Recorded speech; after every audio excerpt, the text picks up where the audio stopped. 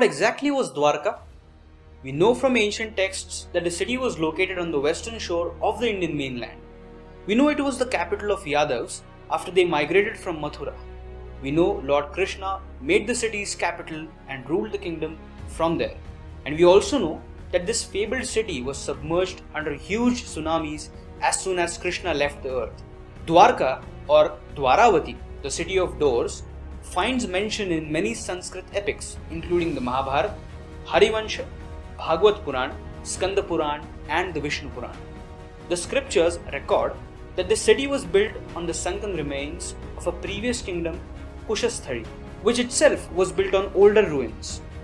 In the Mausala Parva of Mahabharata, after Krishna departed from earth about 36 years after the war, Arjun went to Dwarka to bring Krishna's grandsons and remaining Yadavs to safety. Arjun has described the submergence as the sea, which has been beating against the shores, suddenly broke the boundary that was imposed on it by nature. The sea rushed into the city. It coursed through the streets of the beautiful city. The sea covered up everything in the city. I saw the beautiful buildings becoming submerged one by one. In a matter of few moments, it was all over. The sea had now become as placid as a lake. There was no trace of the city. Dwarka was just a name, just a memory. So let's take a look at some archaeological findings for Dwarka. Before the underwater ruins were discovered, most scholars were of the view that the Mahabharata was just a mythological epic and it would be futile to look for the remains of Dwarka.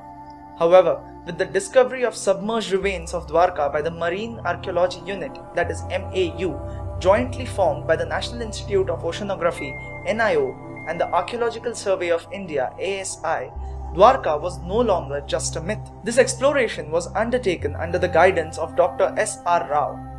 Dr. Rao is widely considered the grandfather of Indian archaeology and has served the ASI for over 32 years. He is credited with the discovery of a large number of Indus Saraswati sites, including the port city of Lothal in Gujarat. Between 1983 to 1990, the well fortified township of Dwarka was discovered, extending more than half a mile from the shore. In his work, The Lost City of Dwarka, Dr. Rao has given scientific details of these discoveries and artifacts. The findings of Bet Dwarka can be divided into two broad periods. The proto-historic period, which includes a seal, two inscriptions, a copper fishhook, and late Harappan pottery. The second is the historical period, which consists of two coins, ship anchors, and pottery. Just as described in the scriptures, the township was built in six sectors along the bank of a river. The foundation of boulders on which the city's walls were erected proves that the land was reclaimed from the sea.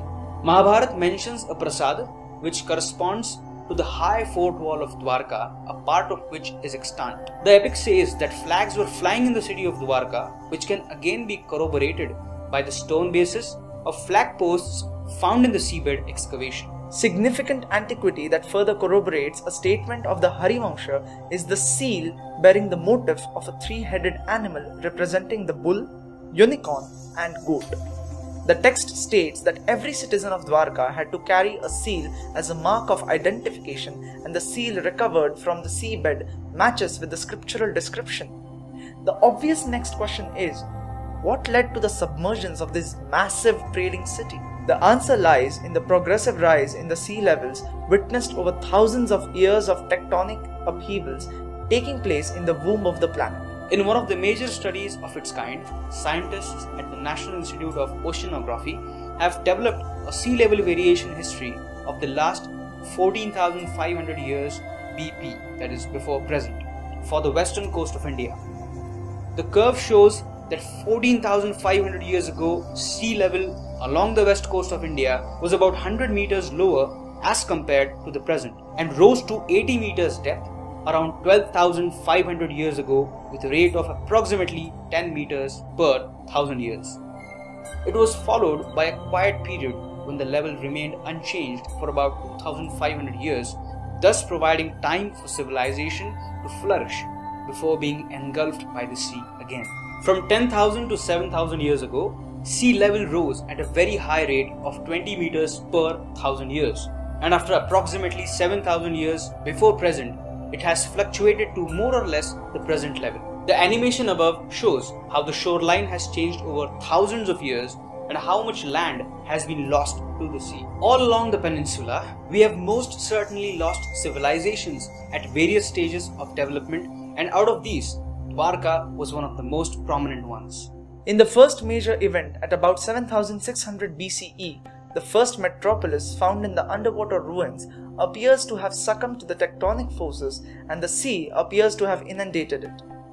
Because of this catastrophe, people would have proceeded north to the higher sea level and established the second metropolis. From our point of view, the older site of 7600 BCE could very well correspond to Kushasthali, as mentioned in the scriptures, which would have been the foundation of Sri Krishna's Dwarka, and the second settlement of 4000 to 2800 BCE would then be the tentative time frame of the existence of golden city of Krishna. This also got affected by faulting due to earthquakes around 4000 years before present and was destroyed by the second earthquake or the last earthquake around 2780 plus or minus 150 years before present when the sea transgressed to completely submersion.